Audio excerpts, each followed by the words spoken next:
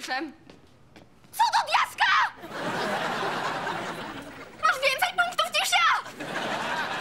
Jestem tak samo zdziwiona. No, no nie całkiem tak samo. Oczy za chwilę chyba wyskoczą ci z głowy. To musi być jakiś błąd. To może zdawaj jeszcze raz.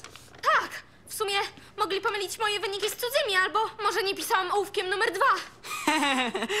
Sama jesteś numer dwa. Ciekawe jaki numer ma Angus.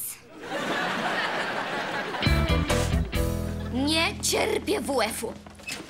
Muszę zmywać makijaż, robić sportowy makijaż, zmywać sportowy makijaż i znów robić normalny makijaż. A stroje gimnastyczne są takie nieprzyjemne. Właśnie. Nosiłam te shorty przez godzinę i nie powiedziały ani jednej miłej rzeczy.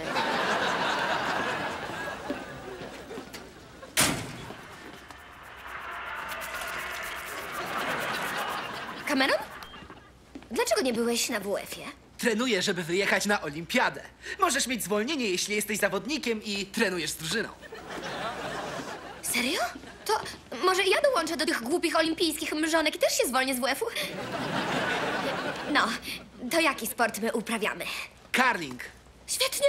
Kręcenie loków, ja jestem w tym ekspertem. Nie, karling to zimowy olimpijski sport. To jest to samo co kręgle, ale bez kręgli, bez torów, bez kul do kręgli, na lodzie i ze szczotkami. Dobra, są moje nowe wyniki z testu IQ.